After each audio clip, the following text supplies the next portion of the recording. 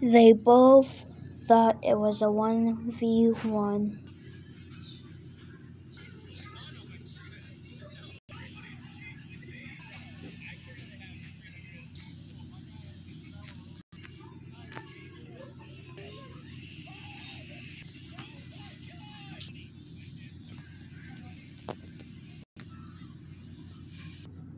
He won the game.